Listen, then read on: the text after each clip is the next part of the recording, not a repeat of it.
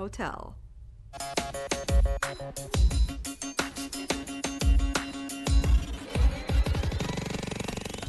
Felix LA is the inaugural edition of an art fair, and it's a throwback to the hotel fairs that were done in the 90s.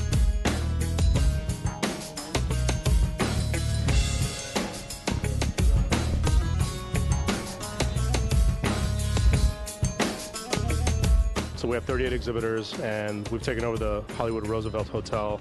Uh, the poolside cabanas are all exhibitor booths, and the 11th floor tower, uh, which is filled with about 20 rooms of galleries presenting the artworks.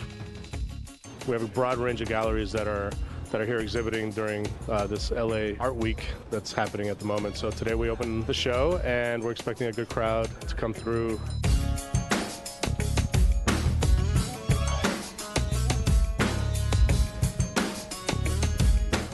People brought a lot of good quality to this fair, and we're really excited about it. Think you know Griffith Park? Well, think again. Beyond the picturesque hiking trails and the iconic movie scenes are decades of hidden histories. As Gil Reyes reports, the Autry Museum attempts to uncover them in a new exhibit. Now, even longtime visitors to Griffith Park who visited this urban oasis dozens of times will no doubt pick up a few new tidbits of information just by visiting this fascinating new exhibit, Investigating Griffith Park. But you know what? The exhibit is not quite finished yet. That's where you come in. We are embarking on a multi year, multi phase project in which we will create an exhibition with the help of our neighbors, the citizens of Los Angeles, tourists from around the world. The Autry Museum's Sarah Wilson wants to know which Griffith Park histories and mysteries do you want uncovered? The museum is now accepting your written ideas for its new but unfinished exhibit, Investigating Griffith Park. Here are some early suggestions. There is a lot of fascination with the old zoo. A lot of people walk by it, they hike to it, um, but the story of the old zoo, who started it, why it closed, uh, is a mystery to some people. Some people think it's haunted. You'll find suggestion stations with pencil and paper placed throughout the exhibit.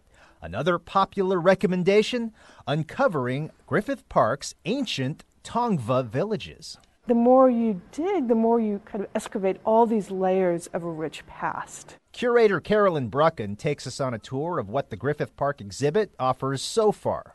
Before the Autry Museum, most people don't realize what was on this site was a World War II veterans housing village. And so this is what we see some of the pictures from the Roger Young Village that was built in 1947, housed over 6,000 people at one point um, as a response to the need for emergency housing um, for veterans returning from World War II. How long did this go on? Between about 1947 to about 1954. See, I would have never. I've been to Griffith Park hundreds of times. I've never would have well, because there's nothing left except for maybe one Quonset hut that we think is the one used by the Trails Cafe. And then before Roger Young Village, there was actually a National Guard airfield on this site. Um, and there were hangars that were leased by people who were at the beginning of the aerospace industry in California. Uh, you're saying that planes took off from here? Uh huh. Wow. And so there's like just this one spot, and then before that it was one it was a Mexican rancho, and before that it had ancestral villages from Tongva people. And you thought Griffith Park was just hiking trails and the observatory. So many stories told and waiting to be told at the Autry Museum of the American West. That's at 4700 Western Heritage Way, across from the LA Zoo entrance, in beautiful and mysterious Griffith Park. The Investigating Griffith Park exhibit is expected to be completed in 2021. Until then, the museum is inviting you to stop by, offer suggestions, and maybe learn a thing or two. Local leaders urge the city to preserve LA's trees. Need some free tax prep? A city program may be able to help. And ever thought about collecting and recycling rainwater? Well, it's easy, and the city can help. All this in City Beat. Need help with your taxes but can't really afford a professional? Mayor Eric Garcetti has launched the Free Tax Prep LA campaign aimed at helping low to moderate income households get the tax credits and refunds they are entitled to. For more, visit freetaxprepla.com. The impact of climate change is now being felt by the very trees lining our streets. Shockingly, up to 30% of LA's green canopy is in danger of being lost within the next decade if immediate action is not taken. LA Controller Ron Galperin and Councilman Bob Blumenfield stressed the importance of getting ahead of the problem now. These trees are our lungs. They clean the air for us. They are the ultimate infrastructure when you think about it. Councilwoman Monica Rodriguez sponsored the annual Rain Collection Barrel Giveaway in Pacoima. Since the program's inception five years ago, over 1,500 barrels have been distributed, saving countless gallons of water that would otherwise be wasted. These days, bullying in school is a serious issue many kids and parents face. That's why the Harlem Globetrotters and the LAPD are using their hoop skills to encourage kids to stand up and speak out.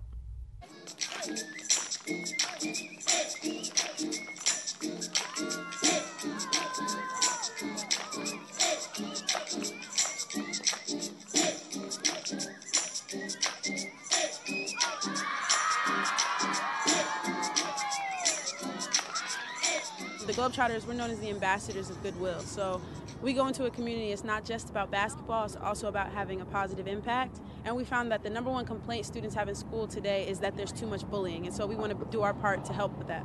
Do you guys think that the number one problem students face is too much pizza? Do you think that the number one problem students face is too much recess? The number one problem that students face today in schools is bullying.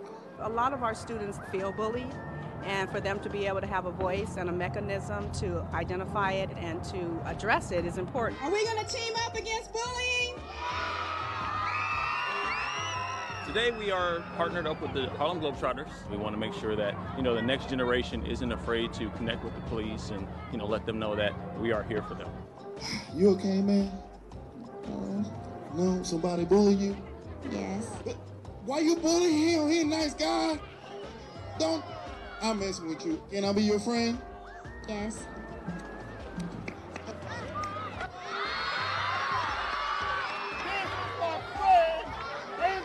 Put Anthony down. We give the message that everyone in the school, staff, teachers, and students are all one team, and that helps the kids to look out for each other and really support each other. Not allowing someone to play a sport because of the color of their skin or because of their gender is a form of bullying. We can come together as a community to really solve the issues that surround our youth.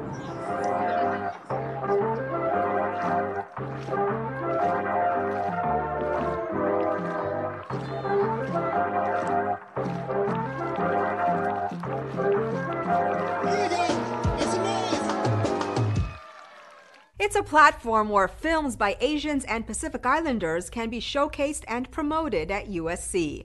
It's also an opportunity to inspire other up and coming filmmakers. Check it out. I see now why they gave me ribbons of shame. Because I was beginning to think like American.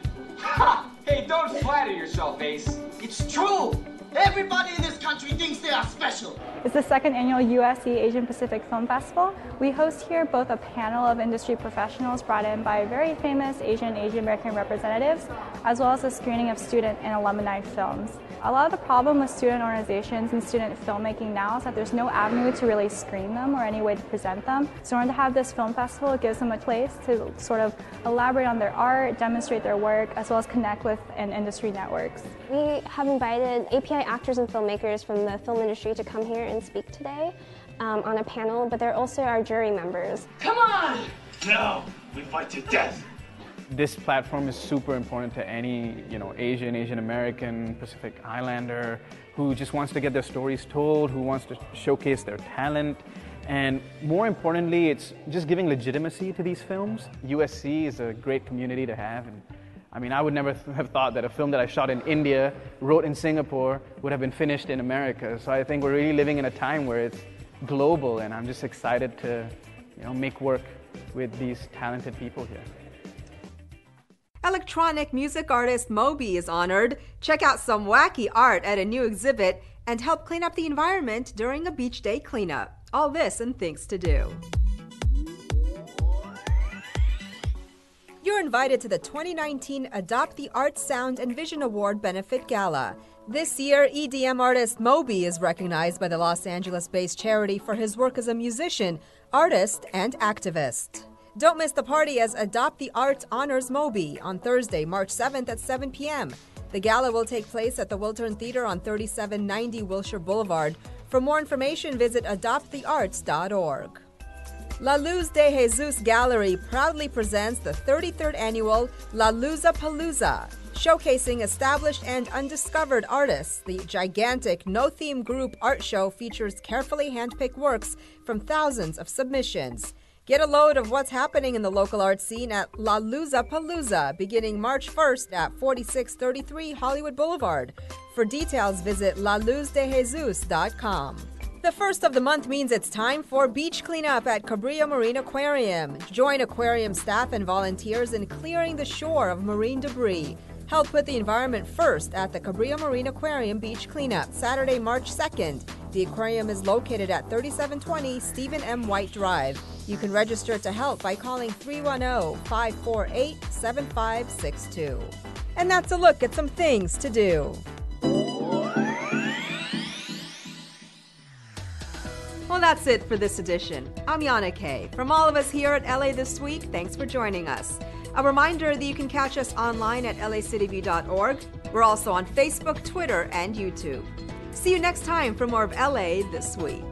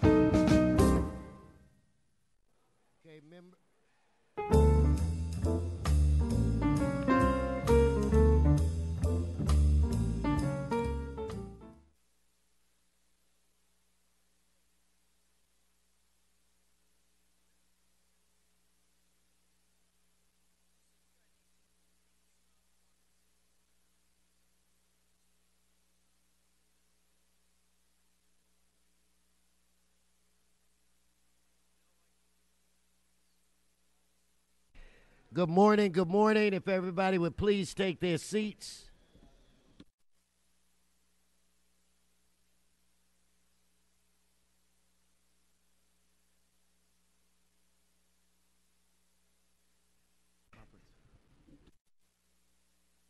Anyway, good morning, everybody. It is Wednesday, February 27th. I want to welcome you to City Hall, to this Los Angeles City Council. Okay, if you, Baldwin, come up front. Big day today. No, no, no, no. I got. I saw some people in the back. You're supposed to be here. All right. Anyway, uh, Madam Clerk, uh, we do have a quorum. Uh, let's call the roll so we can get started. Blumenfield, Bonin, Buscaino, Cedillo, Harris Dawson, Huizar, Koretz, Krekorian, Martinez, O'Farrell, Price, Rodriguez, Ryu, Smith, Wesson. 13 members present and a quorum, Mr. President. Thank you very much. Uh, first order of business. Approval of the minutes. Mr. Cedillo moves and Mr. Harris Dawson seconds. Next. Commendatory resolutions for approval. Smith moves. O'Farrell seconds. That brings us where? Mr. President, items 1 through 21 are items for which public hearings have been held. The committee report for item 20 has been posted and circulated for council's consideration, and there is a request to hold item 21 on the desk. Let's hold 21 and prepare to vote on the other items. Let's uh, open the roll, close the roll, tabulate the vote. 13 ayes. Next. Items 22 through 36 are items for which public hearings have not been held.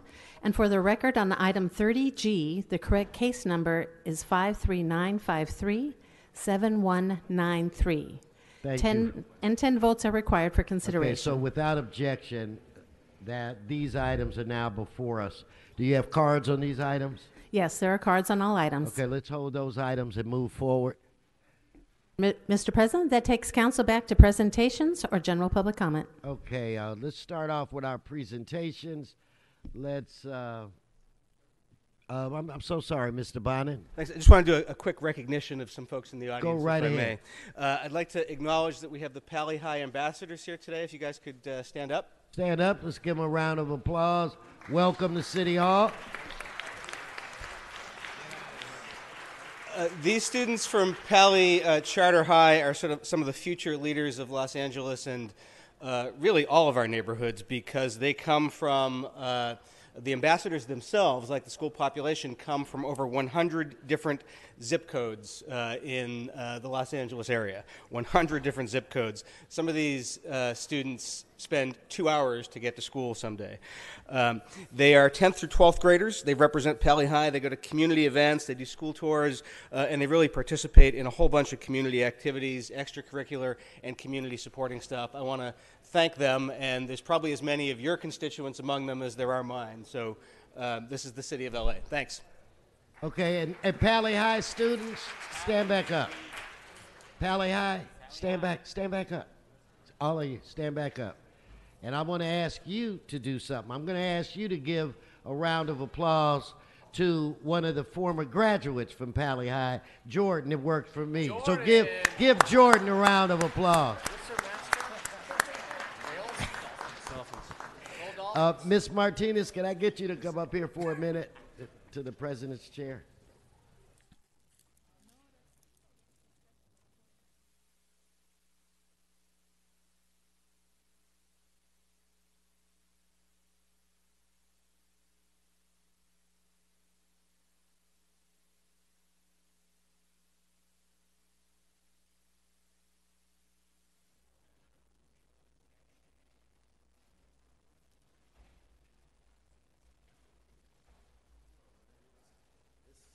Let's get some some Baldwin in here. All right.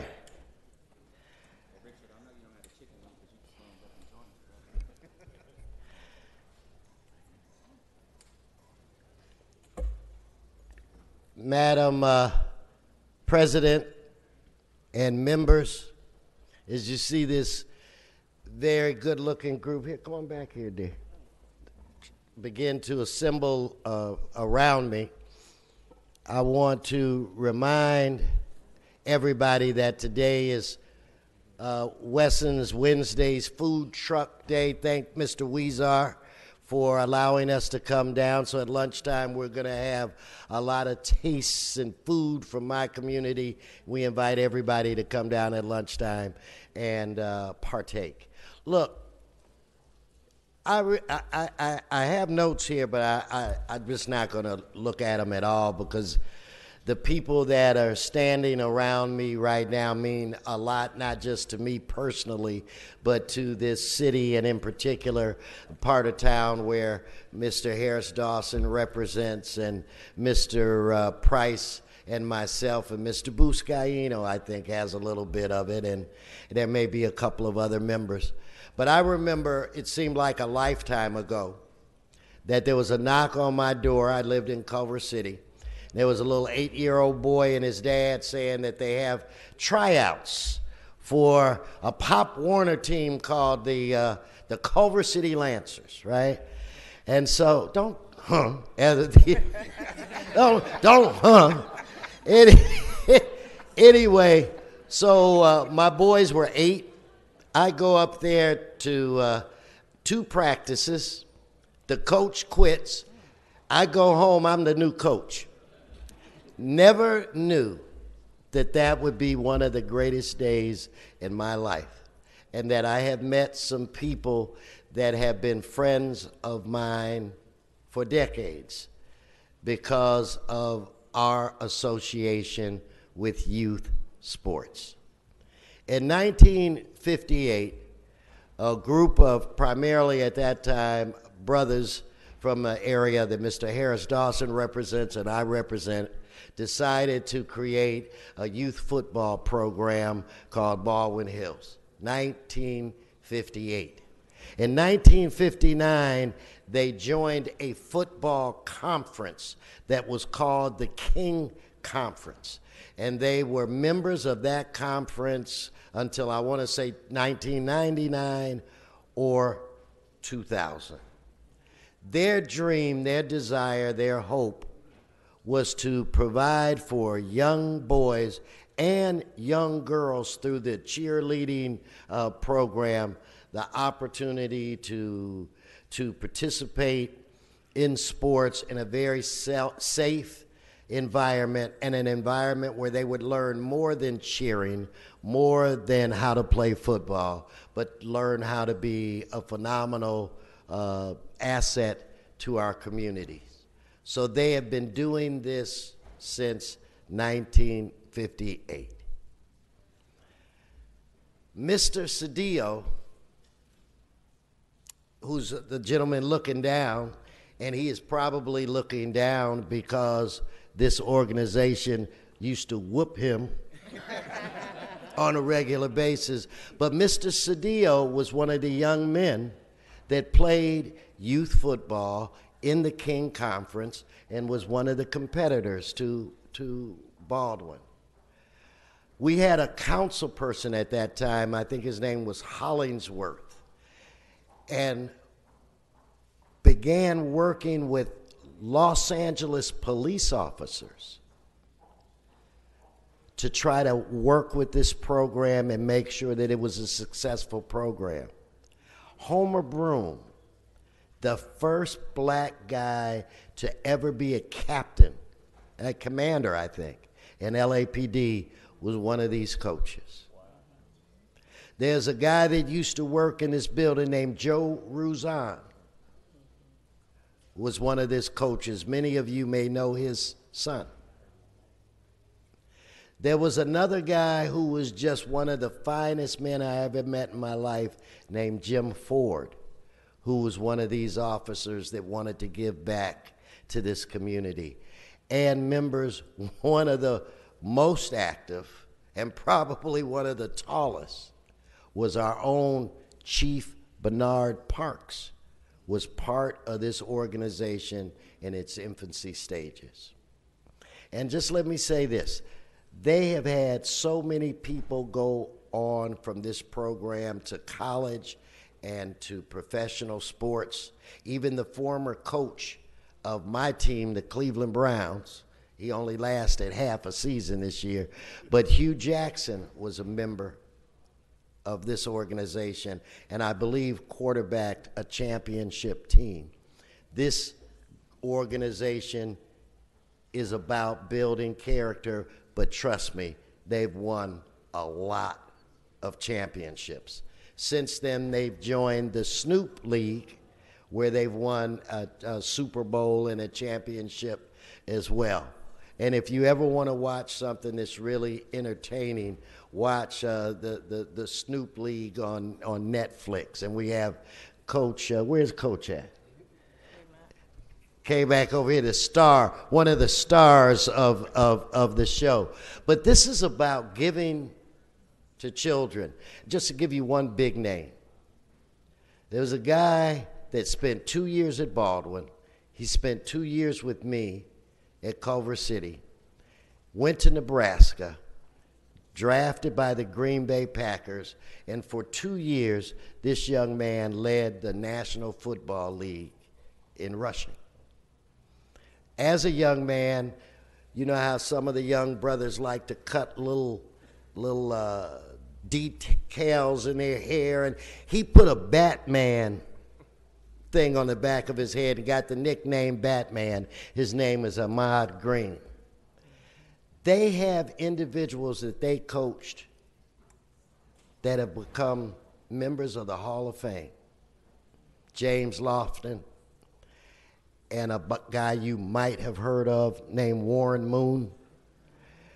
Warren Moon, when he was sworn in to the Hall of Fame, the highest honor in football, he invited Miss Vera Ford and our own Chief Parks to attend his induction ceremony.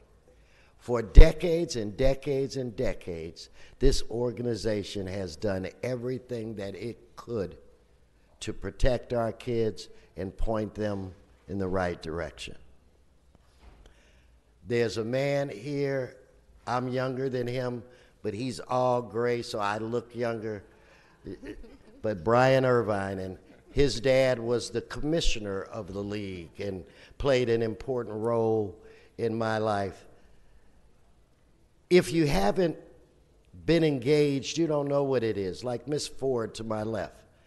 If she had a dollar for every kid she had to pick up to take to practice, then take the kid home, all of the money we had to scrape together to pay for the fees of certain kids, all of the kids that we had spend the night at, at, at our houses to make sure they would make the weight the, the you know back back in the day to make sure they weren't eating burgers and things of that. And you know for all of the counseling we did to their moms and dads i can't describe to you the importance of the service that these coaches and young people behind me and beside me have done.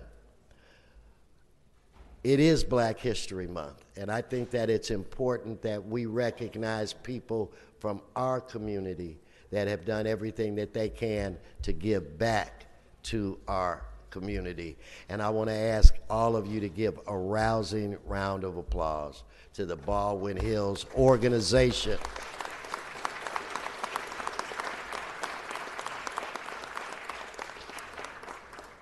Now, we would debate if I beat them more than they beat me, but it's more than them, so I'm going to defer.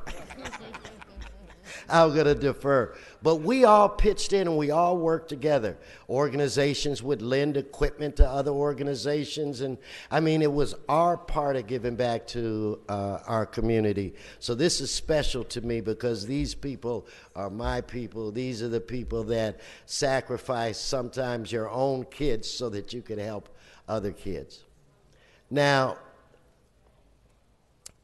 Miss Ford, Vera Ford, has been involved for how many decades? She's still involved. I was involved for 13 years. She was there before I got there, and she was there after I left, and is still participating in one capacity or another.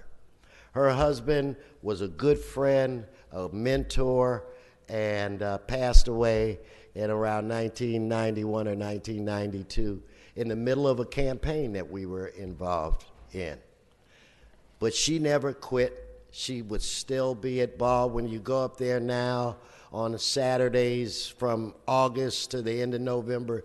You'll see her walking around with some Baldwin gear on.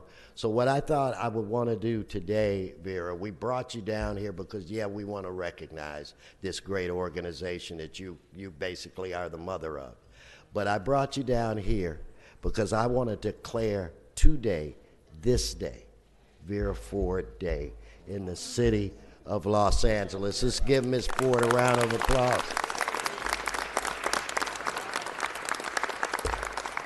And we have a resolution signed by every member of, of this council. So I'd like to give this to you. And let's get a turn over to the cameras a little bit. Brian, everybody get in. Where's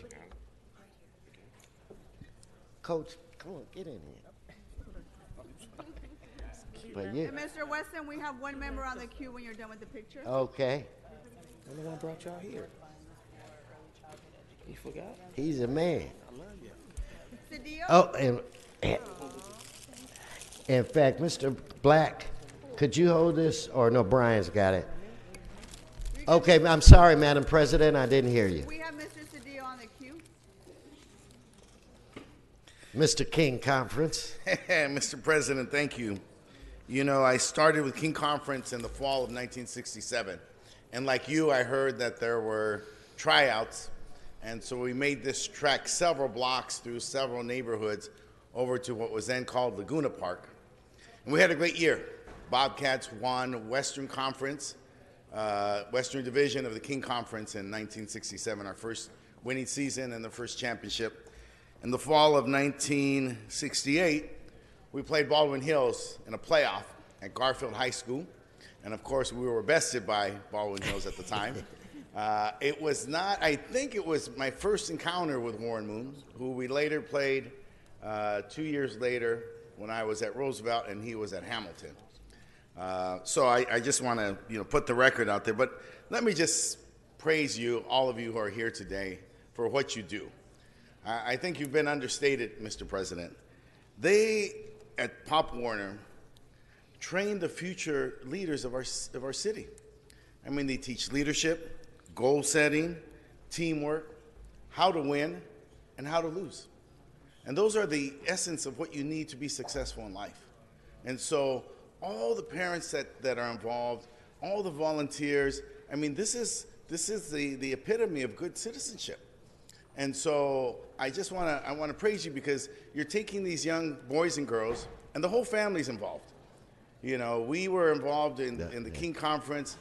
I, I played. My brother was a better athlete. They won the entire King Conference championship a few years later. My other brother played. My sister was in the powder puff team. Uh, my younger sister was in cheer. I mean, our family was involved in the King Conference for about maybe 15 years.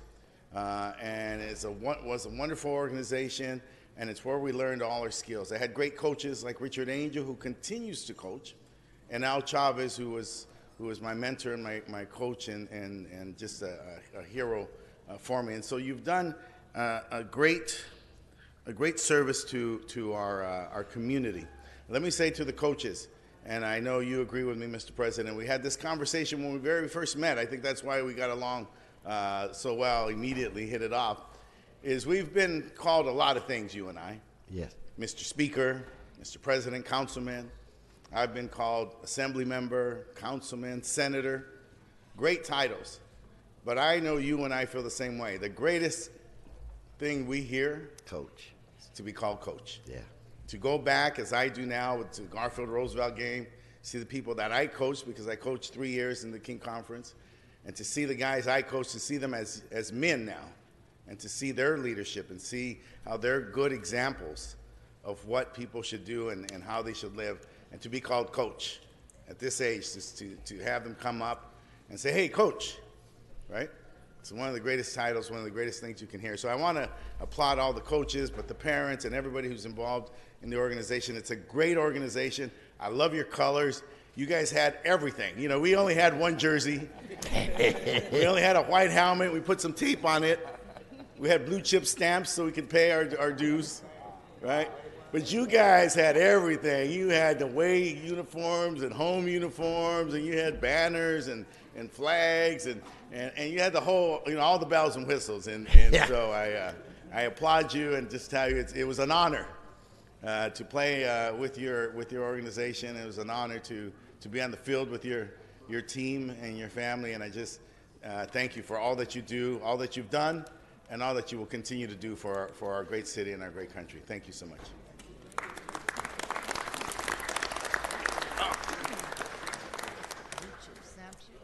Blue chip stamps. Mr. Wesson to close. You're right, uh, Mr. Cedillo. The two greatest titles to ever hold is father and coach. It doesn't get any better than that. So, what I want to do now, Mr. Black, I'm going to ask Vera to say a few words.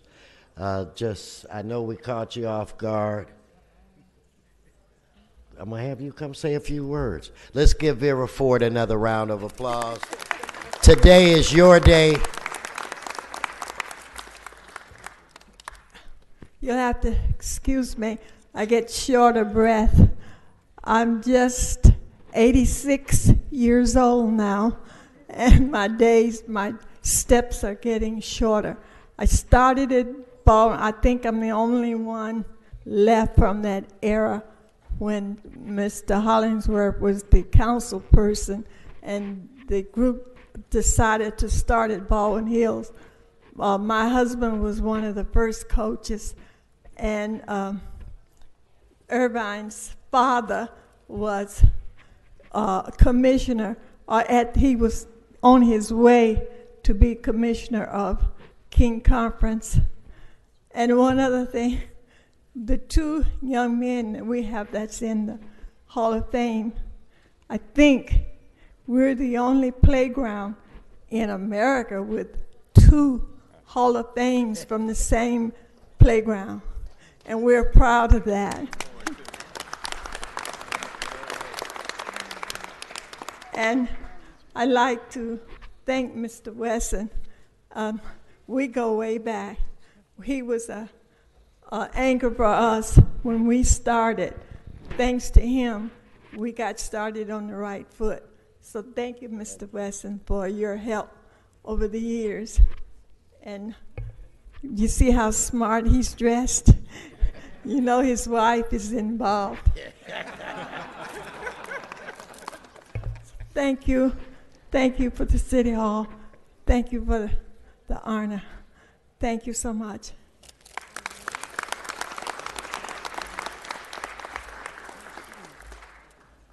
I'm going to ask uh, my, my, my dear friend, uh, his dad was, I was kind of like an adopted son of the commissioner of the league, uh, Tommy Irvine. We just lost him not too long ago, but he trained a wise son. I'm going to ask uh, Brian if you just kind of wrap this up.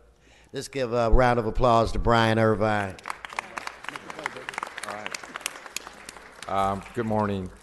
Um, everyone that's here either coached or, or played at Baldwin, and we go back to the uh, early '60s and late '60s, and it's it's it's great when you can come back after you played in an organization and the coach and coach in the conference, and and this is what we all do. We serve our community, and we and we've given back. So I just want to thank everyone. Thank. Um, Herb for everything he's done and all the support he's given to my family and given through uh, two youth sports over the years. So thank you. And Eduardo, that young man right there, We I don't know coached him when he was a baby. We know him as Edo. You mean Edo? Yeah, okay, Edo. I didn't know I was trying to be, That, you know, that's his nickname at City Hall, Edo. it's, it's his nickname for life, Edo. That's Edo. well, thank you everyone today. It's been a great day, and um, thank you again. And the last thing I just want to say, it's amazing that, like Edo here, and we other we have other kids, and my son's not here today. These kids, thirty years in the future, have the ability to stand and look you in your eye and tell you every play what the score was of games when they were seven and eight and nine years old. So, what happens because of the work of these people has an effect on our young folk for the, uh, the rest of their lives. So, let's give Baldwin another round of applause. Don't forget we, the food trucks. We're going to go in the back to take some photos. Let's follow Mr. Black. Oh, wait, you want to? I'm so sorry, dear. Come on. Oh, is this the president? Forgive me. Okay, thank you for having us here today. On behalf of Baldwin Hills, we want to present these gifts to Herb Wesson and Kamali Black. So we want you to I'm so. Yours. Thank you. See, Kamani doesn't like to be on camera. I think he got a record.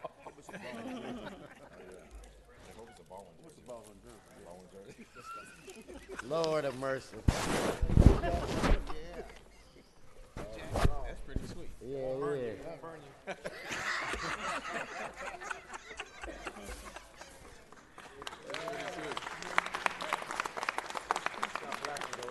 This is all right. All right. all This right. works. It works. It works. It's going in. Come on. Thank you very much. No, we. You want another one? All right. All right, Bets. Let's go in the back and give them out.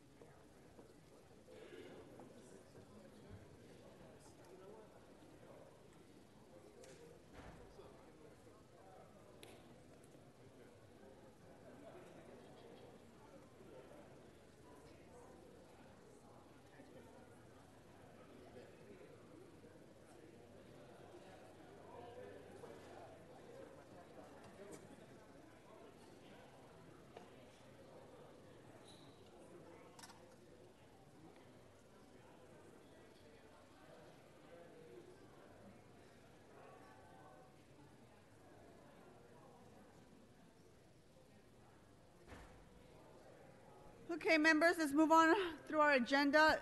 Mr. Smith, you want to reconsider item number two, so let's go ahead and open that for reconsideration. Let's go ahead and open the roll. Close the roll and tabulate the vote. 14 ayes. We're going to go ahead and take public comment on item number two, and we also have speakers who have multiple items as well. So, Mr. Herman, are you here?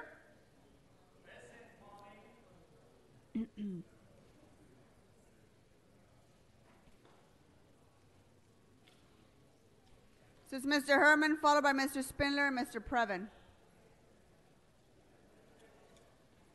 You're speaking on items number two, 22 through 36, and your general public comment. Go ahead.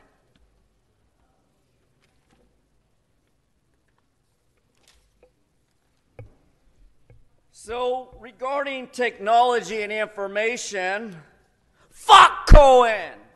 Because the Service Committee report on action and plan to implement a badge and reward a system has failed. Thank you, Trump. In addition to my comments on the agenda,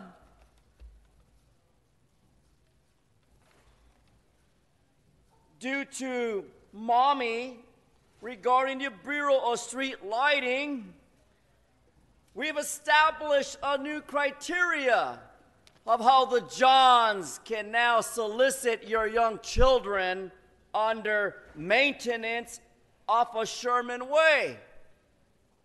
Not that I'm away, but you're away, wetbacks. Because wetbacks have asked the Bureau of Street Lighting to report whether or not 20, 276, no, $274.20 fucking six cents will annually start a tax on 2018. Well, the taxpayers don't want new amenities of lighting, so on their behalf, and all Angelenos would like to say, fuck you. 42 USC 1983 and the Brown Act up your ass, city attorney. And then on CD3, another street lighting. Fuck your street lighting is CD3. And the resolution of various properties under rent control. When you do a good job, not like John Walsh would say, suck cock.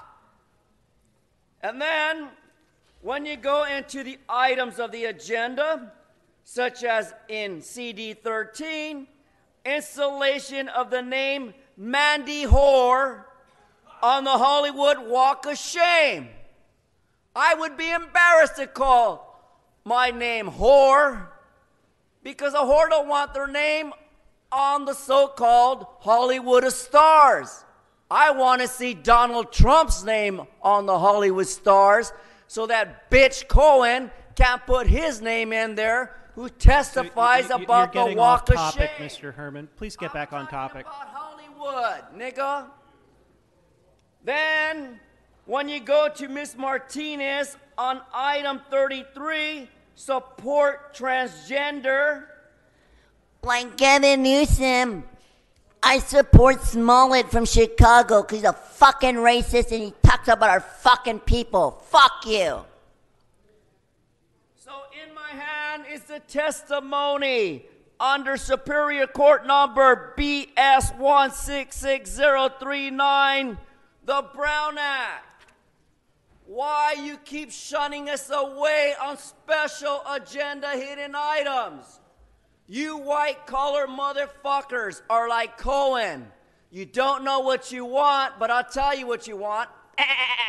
A dumbass budget like Krekorian up there who don't know shit how to budget our lives in the quality that we're demanding.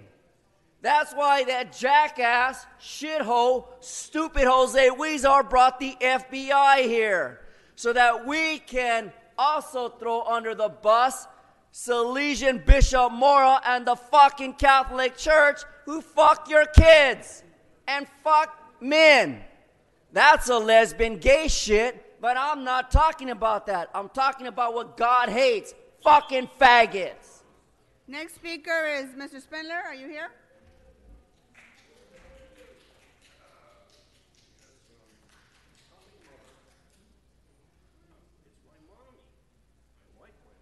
Speaking on items number two and she's a good items mom. 22 through 36, and your general public We comment. like, Go we ahead. like Nury. She's a nice mommy. Okay, so let's see here. What do we got here? Mandy Whore on the Hollywood Walk of Fame. This is disgusting. Why would anybody with the name Mandy Whore want to be on the Hollywood Hall of Shame? Filthy, dirty sidewalks with drug needles and shit all over the goddamn floors over there on Hollywood Boulevard. Most disgusting, unkempt fucking place ever.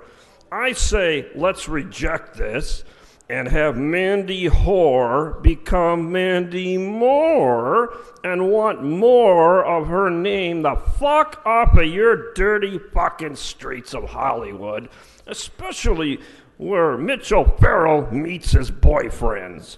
So now we have this community support for Council District 8. We call him Tennis Shoes Harris.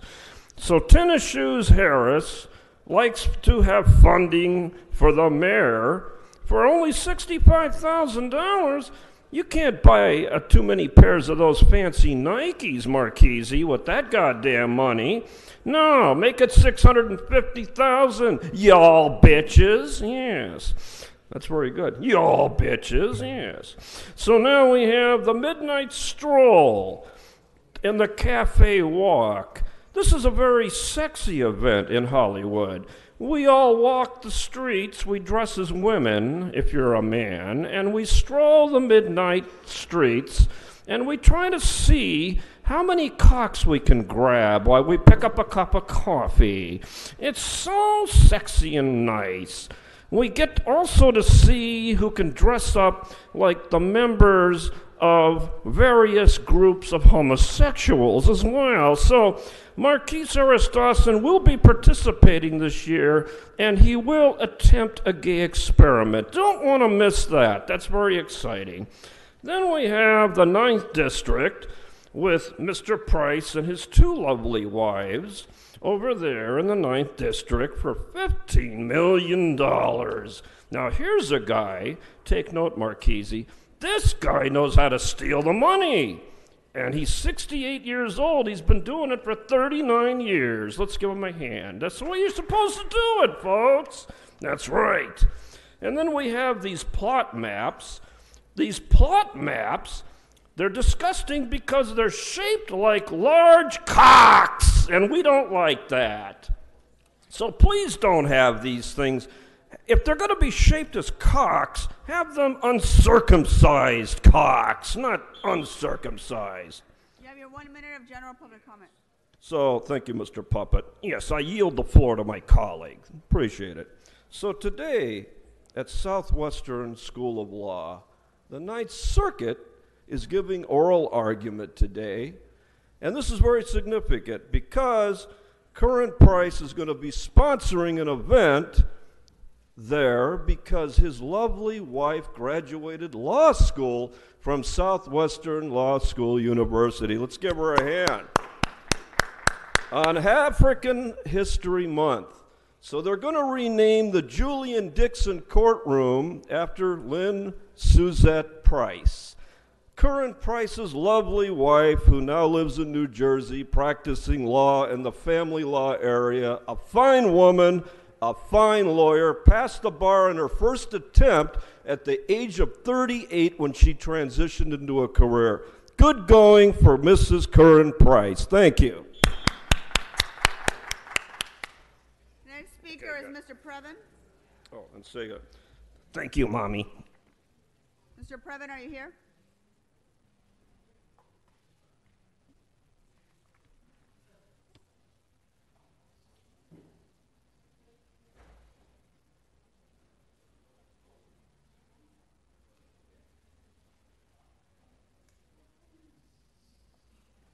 Mr. Previn, you are speaking on item number two and items 22 through 36 in your general public comment. Go ahead. Thank you. It's Eric Previn from Studio City, uh, and uh, I'm speaking on behalf of myself, but I want to talk about item 22, which is uh, Mrs. Kin Vo Ramirez is being appointed, I think, by the mayor to the Board of Neighborhood Commissioners. Now, the Board of Neighborhood Commissioners is a body that serves uh, to kind of glance at the rules for the 99 neighborhood councils. And one of the concerns as she steps on board is that we, for a number of months, have been grieving about uh, the effort we made to change our little bylaws to make it open and clear and inviting to our constituents. We did it uh, through the Transparency Brown Act. We had meetings, we had committee meetings, and then we tried to get it changed. Yet there was a opposition by somebody here at City Hall who just refused to allow. We asked for where it was uh, codified. They just so it's a real it's a real bummer because we had good faith correspondence to try to effectuate the it's the ultimate form of civic engagement right blumenfield? This is an opportunity where you're you're gathering people to vote for you and in our current system it is like gathering them to a web of confusion as opposed to come one come all you can vote for the ones you like. We because of the previous uh, group they kind of cut off opportunities for it's very very bad and it requires uh, immediate amendment hopefully they can help us by march 4th when we're actually telling voters how to how to vote now um, item number 23 is your YM, not ymca but it's near the ymca tyrone uh, has a YMCA, and that's where Mitch Englander we read about the behested payments. It was uh, was upsetting because he was giving, uh, getting people to give, like Waste Management and others, t- ten grand and more to the YMCA, and then what was the YMCA doing for him? Putting him on the you know fundraisers and all sorts of stuff like that. I love the YMCA, and I think we all do. Let's agree on that. But I just don't think that then he writes a check to them from the Sunshine Canyon Fund for 250 grand. It starts to look like you've got the quid and the pro quo, and nobody wants that kind of mess among our children. Not not in advance of the Prop K heist. So let's let's try to stay on point. Um, regarding the FAA, I just want to remind you that you should be putting those things on the agenda. And item number two, this is the last one. I just want to make it clear for Blumenfield. He's done a great job of trying to tune up some of the technology around here. The My uh, LA 311 app is a great opportunity to uh, file a grievance about a pothole, and he wants to reward those who are who are uh, filing a lot of grievances about potholes, um, because then they can get some kind of perk. I don't know if it was explicit, but it's a it's a little bit like Yelp or some of those other apps on Google. The only problem is is that uh, it's nice to see this body welcoming um, grievances, but as you know, and I guess we're getting close to the general public comment, so I'll try to attenuate this a minute. You know, we we do have a lot of complaints in various ways. There's a there's four million of us, and it's hard. It's hard in a climate where uh, the technology is not always working so well. And so now, in my general public comment, the appellate court just up the street found, and uh, Councilmember Martinez, I think you were driving on that morning in December of 2015 when a special meeting was called with just 24-hour notice, and comments were all denied. So the court found that's a little bit of an error and they, they found it over at the Superior Court, where I think we just honored Kevin Brazile, who's the Superior Court hero over there. But they bungled it badly. And so the other court said, we got to make it clear uh, for people around California. And hopefully, we're going to, in the future, realize that if you call a special meeting, it's a simple point.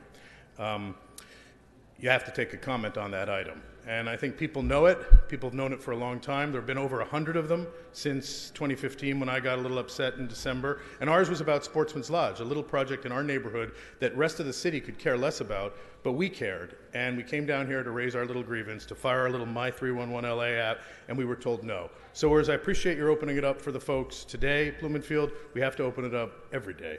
And with that, I would also ask that you uh, make it a bit more equitable down here in terms Thank you, of the Mr. framing. Previn. Uh, our next speaker is Yvonne Michelle Autry. Are you here?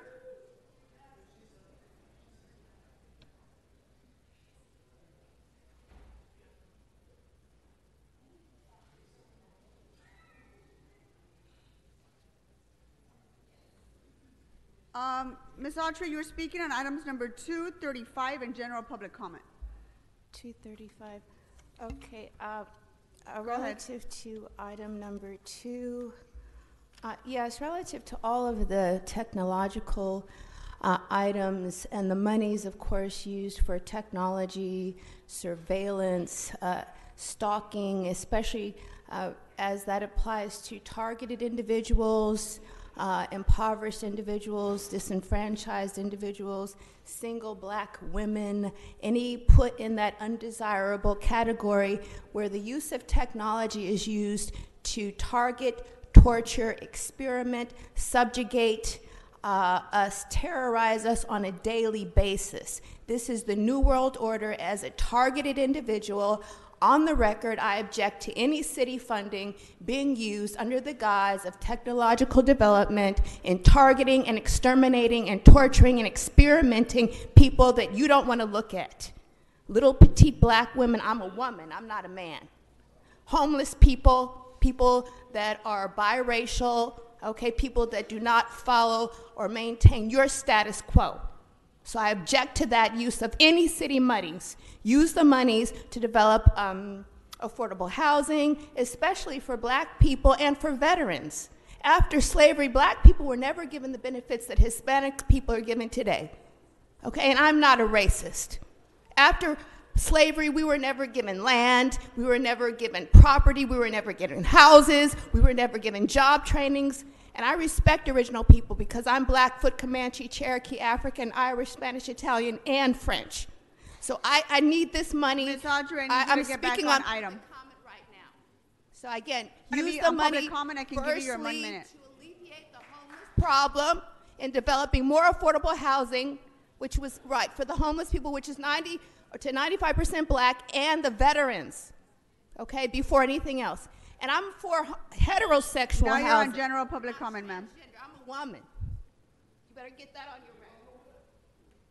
You're not speaking on your general public comment? You got your general public comment? Okay. And also, relative to women, see, women are continually uh, stalked, uh, the gang stalking, apart from the targeted individuals. Okay, there, there is like this a new kind of uh, dehumanization, uh, surveillance, stalking, sexual harassment of women, especially women that are single, single black women. It's as if, um, not just under the Trump administration, but uh, you know, the system is trying to go back to a, a time when black people had no civil and human rights protection, and poor people also are incriminated. But women also have no identity apart from being married. So on the record, I'd like to um, I'd like to establish that I'm against this system employing or using or hiring Mexican mafia, uh, uh, dirty cops in surveillance, kidnapping, and murdering women, especially black women, poor women in the street. Thank you, Ms. So again, Thank you. Members, ma'am, your time is up. Thank you very much. I'm going to ask you to sit down. Thank you. Members, let's go ahead and take up item number two. We've already voted on reconsideration and satisfied public comment. Let's open the roll. Close the roll and tabulate the vote. 14 ayes. Mr. Smith. I wish to uh, amend the record uh, on item number 20. There was an item that was read into the file yesterday in committee meeting in Plum uh, at the request of Dar- Dar- Warren Power on the trail item. Uh, It doesn't require a vote, but I want to make sure the clerk includes it in the file that it was pr- approved in Plum. And that's the LADWP uh, portion. Thank you. Thank you very much. That's noted. Let's go ahead and take up um, Augustus Hawkins. Are you here? Augustus Hawkins is not here. Mr. O'Farrell, are you ready for num- item number 33? Thank you. Thank you, Madam Chair. Uh, I just want to stand and just talk briefly about what we're about to do and why it's so important um, in relation uh, to this item. Um, colleagues, last year there was a 64%, I'm sorry, 64% spike in homelessness of our transgender community. They're among the most vulnerable of all demographics, uh, demographic communities uh, in the city. Oftentimes spent a life on the streets, and uh, that gets a lot of people in trouble. We've been working uh, for years with the LAPD uh, to assist and provide alternative services in lieu of arresting individuals. And that's where the Midnight Stroll was born, that operates in East Hollywood. Um, this, this motion supports funding to support the Midnight Stroll Transgender Cafe. We're busy at work every month at midnight, um, walking and providing services, and now we actually have a shelter uh, to put these individuals in uh, when they're willing to, to have a roof over their head, and then open, case, uh, open cases and get them into a pathway to permanent housing. And so um, I want to thank you, Madam Chair, for uh, your second on this motion.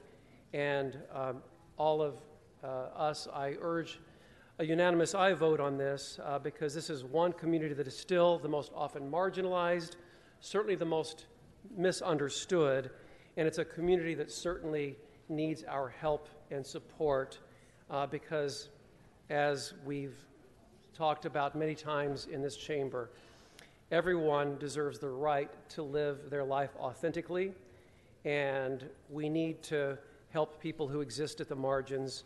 And supporting the Midnight Stroll and the funding for this program uh, will certainly help in uh, carrying out that value. Thank you. Thank, thank you, Mr. O'Farrell. Members, let's go ahead and uh, prepare to vote on items 22 through 36.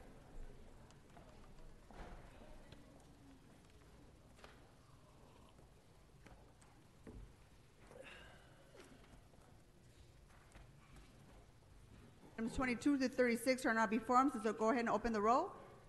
Close the roll and tabulate the vote. 14 Those ayes. items pass. And Mr. Madam President, there is Sure. a request to send item 34 forthwith. Item 34 forthwith. Mr. Spindler, can you please sit down? I'm going to ask you to leave our, our meeting. You're interrupting our meeting. Okay, Mr. Spindler, you're Mr. disrupting. the- Spindler, can you Uh, please ask Mr. Spindler to please okay. leave our council chambers? He continues to disrupt the meeting by yelling from behind the council chambers. Ms. Rodriguez, are you ready for item 21? Yes. Oh, I'm sorry. Hold on for just a second. 32? 32 forthwith for Mr. Harris Dawson. Go ahead, Ms. Rodriguez. Thank you, uh, Madam President. I'd like to move that on item 21, number uh, 1A, 1B, and 3 be sent back to Public Safety Committee and approve the balance of the report as amended. Very well. Let's go ahead and take up item 21 as amended by Ms. Rodriguez. Let's open the roll, close the roll, and tabulate the vote. 14 ayes. Thank you. Mr. Krekorian, you have a reconsideration, item number 19. Let's go ahead and vote on reconsideration first. Let's go ahead and open the roll, close the roll, and tabulate the vote. 14 Okay, ayes. Item number 19 is now before us. Go ahead, Mr. Krekorian. Thank you very much, Madam President. Um, I'd like to ask that the recommendations be amended to uh, add recommendation C, uh, which would read as follows. Take into account the relationship between any changes in departing flight guidelines, instructions, or procedures at Van Nuys Airport on the noise impacts on Los Angeles communities caused by flights departing from Hollywood Burbank Airport. Okay, thank you. Thank you, uh, Mr. Buscaino. And Madam President, uh, just for the sake of the record, since we're talking about noise impacts, as I was trying to read that amendment into the record, it was very difficult for me to concentrate because of Mr. Spindler's continuing disruption of the meeting as he's shouting out from the back of the room while the Los Angeles Police Department is escorting him to the door. Indeed, and Mr. may I recommend, Madam President, that we order Mr. Spindler removed? We have, and he has been removed as we speak. Thank you, Mr. Krekorian. Let's go ahead and vote on item 19 as amended. Let's, oh, Mr. Harris Dawson? Madam Chair and City Attorney, so my understanding is that these people are now banned for some period of time. It- Is it- that the case? Because I, I don't want to see, do this again Friday if in, ca- in fact we So have a it- rule. It, it depends upon how, um, whether Mr. Spindler has been removed, order removed from a meeting recently. I'd have to check my, my, my log, essentially, my calendar to Okay. see. I don't know offhand. But as, as long as we've got somebody watching the door on that. 'cause We're, we're it's- watching it. Thank you, Mr. Harris Dawson. Let's go ahead and vote on item 19 as amended. Let's open the roll, close the roll, and tabulate the vote. 14 ayes. Thank you. Okay, we have a list of members who are here to speak on general public comment. Can we please, um, if I call your name, can you please come up to the podium? Robert Brayman, are you here? Gina Silverstein, are you here? Wayne Williams? Mr. Williams, can you please go ahead and, uh, each of you have one minute of general public comment. Go ahead, Mr. Brayman. Well, first off, I'd like to, um, Madam President, member of the, uh, members of the council, I want to thank you for the vote you just took. We're actually here today. I'm the co-founder of Sherman Oaks and Encino for Quiet Skies. We, along with Sherman Oaks Homeowners Association, homeowners of Encino, and Studio City for Quiet Skies, represent tens of thousands of residents who are impacted by the low altitude flight paths resulting from the FAA's Next Gen program to, work, to rework aircraft navigation to use GPS. Some of those residents re- rearranged their schedules and made the trip here today. If they could please stand. We're here seeking your help to correct a mistake the FAA made in May 2018 by having departing flights from Van Nuys Airport make their turns farther south over the Santa Monica Mountains. The goal of NextGen is to make air traffic safer and more efficient. Yet what the FAA, FAA did at Van Nuys Airport is just the opposite. And in fact, it is a recipe for disaster. The residential communities in the Santa Monica Mountains are in a high fire hazard zone with limited escape routes should there be a plane crash. Thank you, like sir. Thank you.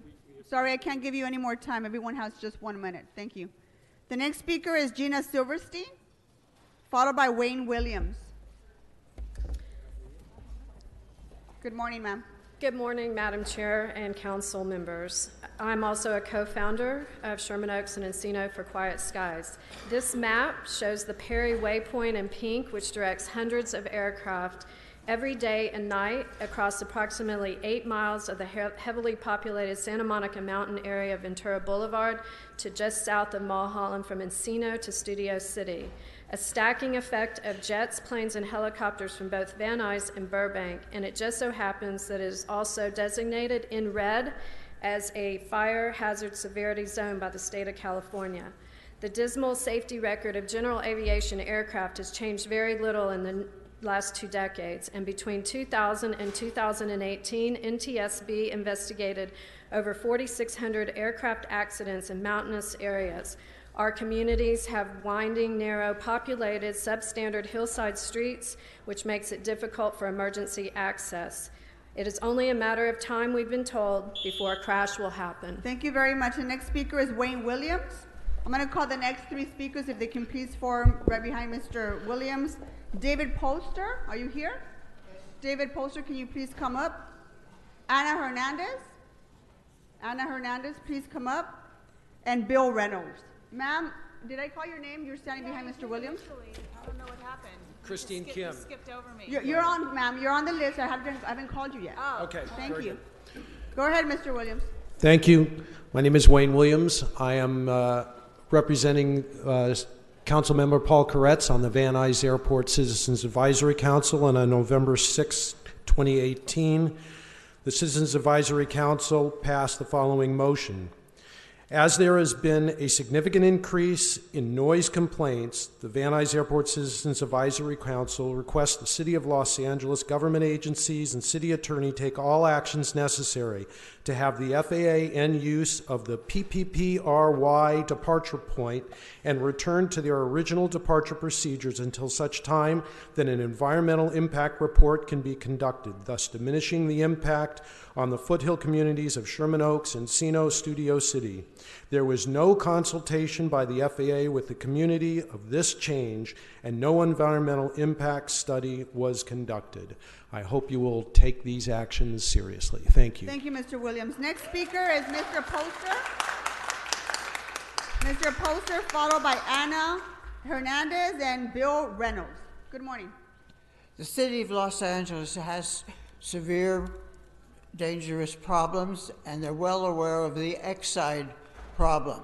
They're not as much aware of our problem in South Bay, where we have two refineries that are using a very dangerous process that is no longer being allowed for new refineries and would not be allowed in, a, in an area as densely populated as we are. I have here the newspaper reports of the accidents that happened at our refinery here several years ago and the ones in, the, in Wisconsin and Texas. The one in Wisconsin required the evacuation of about 20,000 people, and that was a minor accident in a refinery smaller than ours in a less densely populated area. We need to be, have the city support us in, in making the refinery bring them up to more safety standards by revising their methods. Thank you. Thank you very much, sir. Next speaker is Ana Hernandez, followed by Mr. Reynolds, followed by Jane Alfonso. Are you here? Jane? Good morning. Good morning. I live in Los Angeles, but I'm working in South Bay. I have uh, too many families with the breath problems. So, what you think? There's something happening in Torrance. When I come into my home, I take all this acid and repair on my family, on my kids. I have uh, too many friends and family working in South Bay. So I need your help now, the, doing something to take off. This thing is not good for our country. I support too many years.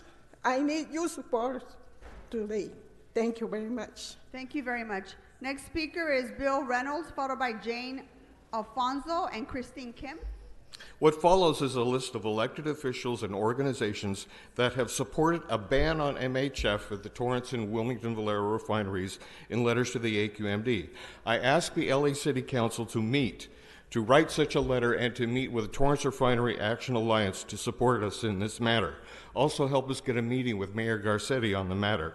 Here are the letters Los Angeles County Board of Supervisors, San Pedro Democratic Club, Teamsters Local Union Number 986, SEIU Local 721, Wilmington Neighborhood Council, Northwest San Pedro Neighborhood Council, Central San Pedro Neighborhood Council, Coastal San Pedro Neighborhood Council, Harbor Gateway North Neighborhood Council, Harbor Gateway South Neighborhood Council, Harbor City Neighborhood Council. Ted Lieu, U.S. Congress, Nanette Barragan, U.S. Congress, Maxine Waters, U.S. Congress, Javier Becerra, California Attorney General, Kevin De Leon, former President pro tempore, California State Senate, Al Muratsuchi, California Assembly. All these people have written that letter, and I ask you to do the same. Thank you. Thank you very much. Next speaker, Jane Alfonso, followed by Christine, Christine Kim and Constance Sullivan. Go ahead. The problem with MHF, modified hydrofluoric acid, is that it forms a ground hugging cloud that burns the skin, damages internal organs, kills plants, animals, and humans. In 2012, in South Korea, five people were killed, 18 injured, over 3,000 sought medical treatment just with the release of 16,000 pounds. In the Torrance refinery, there are 80,000 pounds of MHF, and in Valero, there are even more. In 2015, there was a near miss where a 50,000 pound of um, medical equipment, I mean, machinery came within feet of the um, MHF tank.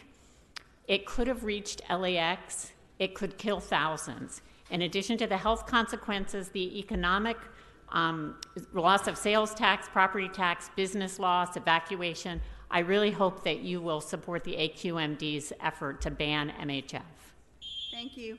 Next speaker is Christine Kim, Constance Sullivan, and Steve Dillo. My name is Christine Kim. I'm here as the chair of the Airports Committee for the Sherman Oaks Homeowners Association and co founder for Sherman Oaks and Encino for Quiet Skies. Thank you to the City Council and Council members Koretz, Krekorian, and Ryu for fighting to protect the health and safety of Los Angeles residents, school children, parks, and wildlife. The Section 175 request to scrap Perry and to use 2.2 DME so that turns happen over the basin does not shift a noise problem. To understand requires a grasp of facts. I will explain. One, LAWA's report shows that when pilots were being instructed to begin their turns at 2.2 DME pre Metroplex, the numbers of noise complaints were low and acceptable. LAWA has their own report that shows only 13 individuals submitted 19 complaints in January 2016, which was pre Metroplex. This January, there were over 14,000 complaints at Van Nuys, and the number's going up.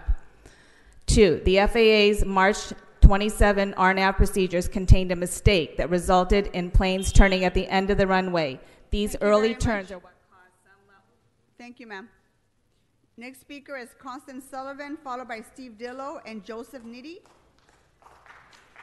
Hi. Good Uh, morning. The Torrance Refinery Action Alliance respectfully requests a meeting with the mayor to fully explain the danger posed by the use of modified hydrofluoric acid at the Torrance Refinery and the Wilmington uh, Valero Refinery. There have been two large releases of hydrofluoric acid uh, in refineries in small towns in Texas. They got lucky. the deadly gas wafted away from the residential area. But we live in a densely inhabited area, and an accidental release of this deadly modified hydrofluoric acid here could affect residents of councilmanic districts 1, 5, 8, 9, 10, 11, 14, and 15, as well as LAX and the Port of Los Angeles. And I brought maps to show uh, the zones of risk. I don't know who to give them to, though. Anybody? Who Uh, hand it to the sergeant. He'll, he'll hand us the copies. Thank you. Thank you. Next speaker is Steve Dillo, followed by Joseph Nitti and Amy Palmer. Good morning. Go ahead. Good morning, City Council members, and thank you for the opportunity to speak. My name is Steve Dillo. I was born in Los Angeles, raised in Westchester, and lived my entire life in this area. But uh, if you remember four years ago when you had that big explosion at the Torrance refinery, my house and home, in the neighborhood was all covered with ash. So the wind was blowing in that direction on that particular day. It turns out that had that huge piece of equipment gone, instead of 100 feet, if it had gone 105 feet, it would have wiped out a 50,000 pound tank of this hydrofluoric acid, which produced a deadly gas. I was in the kill zone. It would have followed the wind, same as that did. So I just want to offer my support for the rest of the people in our group and, and beg you to please do whatever you can to get rid of this stuff. It's dangerous. It does not belong in this area. Thank you. Thank you. Next speaker is Joseph Nitty, followed by Amy Palmer and Susan Ashley. Good morning. I'm Dr. Joseph Nitty. I'm a cardiothoracic anesthesiologist, and I proudly served the San Fernando Valley for 21 years at Providence Tarzana Hospital. I want to thank you for your actions today on this measure with Van Nuys Airport. You're not protecting me or my wife or making it easier for us. You're protecting San Fernando Valley. The San Fernando Valley are my patients. When I work 18 hour shifts and come home and can't sleep because the plane's coming over my house at 1 o'clock, 2 o'clock, 3.15, waking me up over and over. So the next morning I'm shaking. I'm not, clou- I'm not clear. To go into open heart surgery is kind of a scary thing, and that's what I do. Please help me and help their patients, help the valley through this issue, and return the waypoints back to where they were so that we can all benefit. Thank you. Thank you. Next speaker is Amy Palmer, followed by Susan Ashley and Peter Bazinski. Good morning. Go ahead. Good morning. Thank you for your time. My name is Amy Palmer. I live and work in Sherman Oaks. Um, I too am affected by the planes, not only because there's soot all over my yard and my, my plants and my dogs and my family, the breathing conditions I'm worried about, but I'm a businesswoman. I have a City of LA business license as the Amy Palmer Group, which I'm very proud of. I went into business last year for myself, and as a small business, I can't afford office space. I just started my company and have yet to make a profit. I can no longer work from home. I can't take phone calls from home. I can't even work on a very difficult proposal from home because of the noise. It is incessant at times. It lasts all day. Generally starts incessantly around 6:30, maybe 7, 7:20 in the morning. It's when it's just nonstop. Then there'll be a five-minute break, a 10-minute break, and then another, I don't know, 30-minute period of where it's just incessant plain noise. I've had to get office space that I can't afford because I can no longer work from home. I'm asking you as a businesswoman in the city of LA to please help us. Thank you. Thank you. Next speaker. Next speaker is, is uh, Susan Ashley and Peter Bazinski. Bob Bramer, are you the same? Are you Rob Robert Ray, Brayman? Same same person? Because there's a, a gentleman, Bob Brayman, who also signed up. Mr. Brayman is the same person? No. Okay. Go ahead. Hi, good morning. I'm Susan Ashley. I'm a resident of Sherman Oaks. Talking about the airplanes is, in the abstract, is really hard to understand. That's why I wanted to play a recording from my backyard. I hope you can hear this. This is what we're living with 24/7. There is no break. The planes start at 6:45 in the morning, and we're barraged with them until 2 a.m. This is the noise constantly all day. This is uh, how loud it is inside my house. We can't sleep. My doctors are concerned about my health because I'm only getting three to four hours of sleep a night. The government says Uh, exercise, eat right, get plenty of sleep. We can't do that because the planes are constant 24 7. Um, and you want to talk about empirical evidence? I now have black soot on, the, on my patio furniture, on my patio furniture, everywhere. You, we can't go outside. We can't have a normal life. We go out of town just so we can sleep. This is a very serious problem, and we appreciate your help. We need your help. Thank you. Thank you very much. Next speaker. Good morning. Hi, I'm Peter Basinski. I live in Sherman Oaks. Our house is situated exactly halfway between Burbank and Van Nuys airports. When we purchased our home in 2014, we checked with the Los Angeles County Assessor's Office, and uh, the, the home records state that it is not in a flight path. That is certainly not the case now. Due to the changes uh, from the NextGen program, we now have over 200 flights a day directly over our home. We are at the exact crossing point of both airports' southerly departures as they turn north. The, the noise is incessant and ongoing. It's depriving us of our right to a decent life. We ask you to support uh, item 19 in uh, section 175 and give us the relief that we need and further ask that you um, uh, take Wayne Williams from the, uh, uh, L- from the Van Nuys CAC's suggestions to further give us relief from this problem. Thank you for your time. Thank you very much.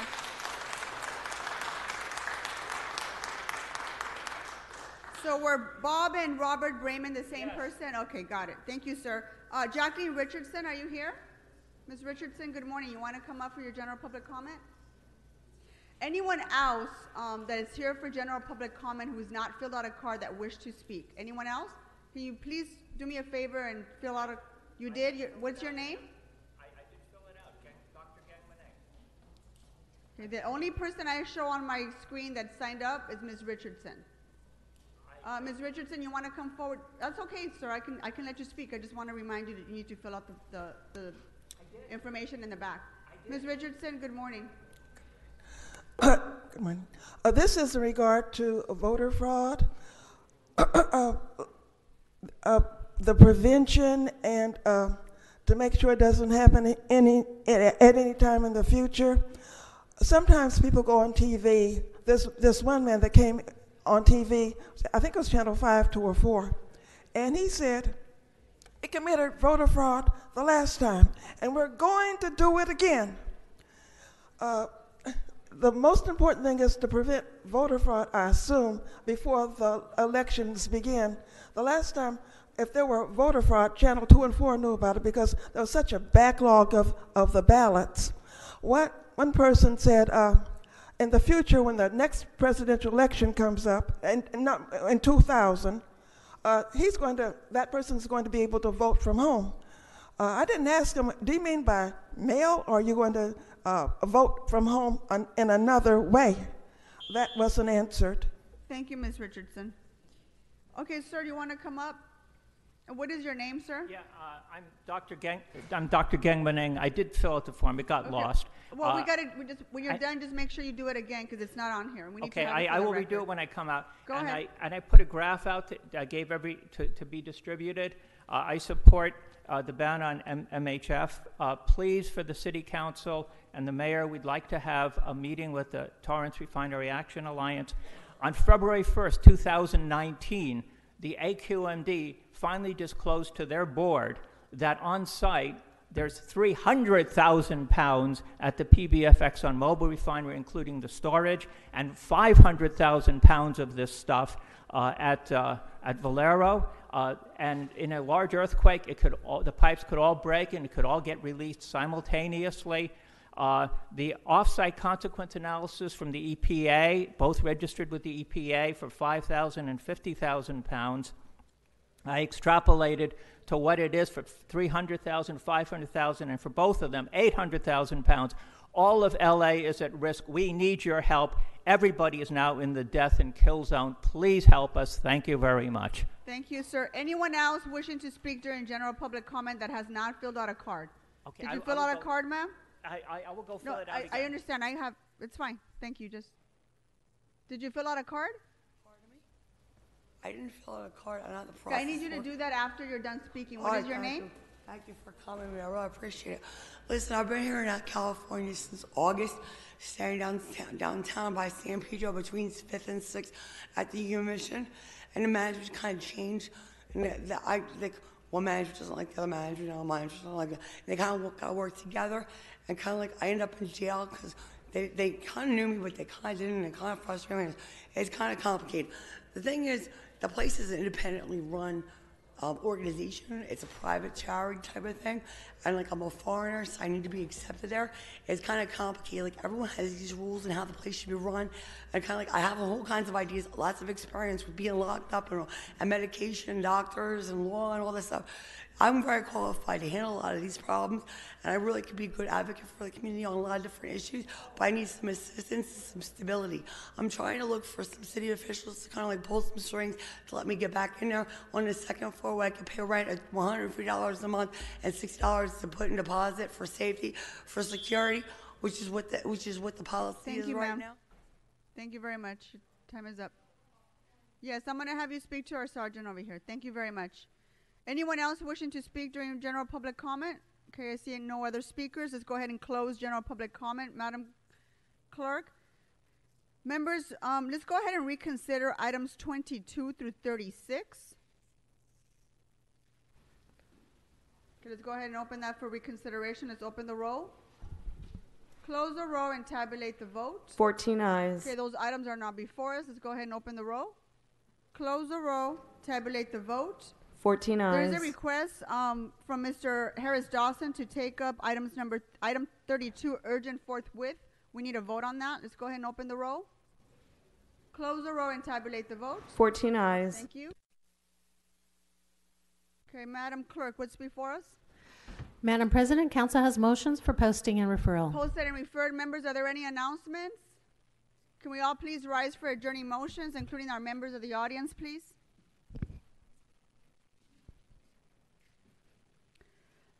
Any adjourning motions on my left? Any adjourning motions to my right? Okay. Seeing none, have a great afternoon. Our meeting is adjourned.